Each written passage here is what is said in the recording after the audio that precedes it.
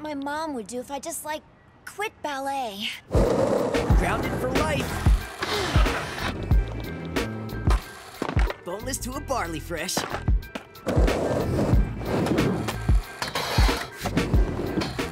Or maybe she finally gets off your back.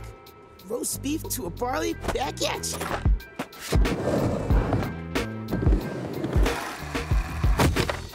S-K-A-T. Do you guys really have to play skate right now? I'm trying to have an existential crisis here. We bet five bucks and I need lunch money, so yeah. Then you're gonna starve, my friend. So your crisis got me thinking, Tricky. Newton's third law says every action has an equal and opposite reaction. Wow, this must be massive! Oh. So, you think my mom, what? Makes me quit skateboarding? Hard to argue with Newton. I'm with Tani. Your mom is so hardcore. True that. Stalefish to judo. Yeah. But she could surprise you. Nah. The only thing that surprises me these days is when Jake wears matching socks. Oh, man, S-K-A-T. Actually, there's a scientific theory I think might explain Jake's sock glitch. It says we all evolved from aquatic bipeds. What does that even have to do with... Webbed feet would be so cool. No more socks or shoes. No way was I so aqua, dude.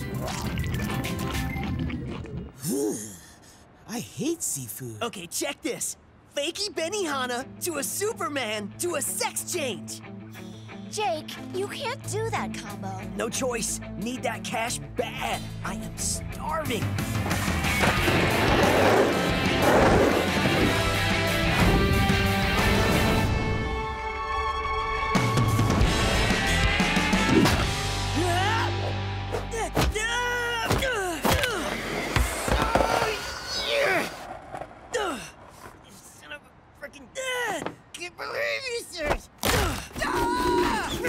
So hard to land that. Oh! Personally, I don't think we evolve.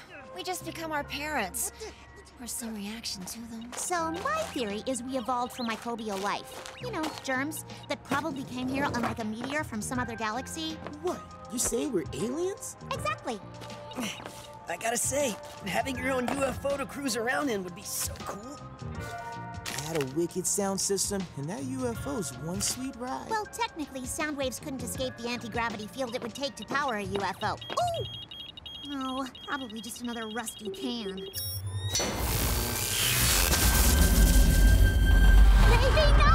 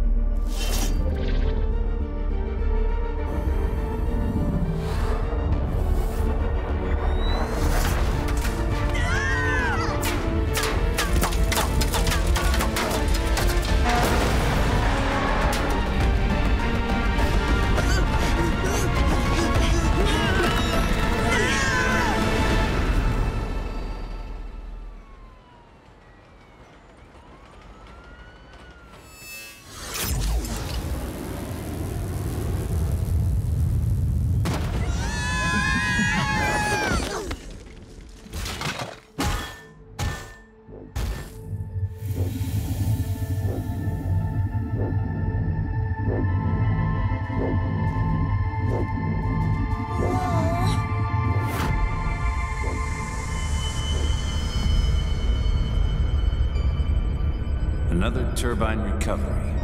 Confiscate? Just observe. For now.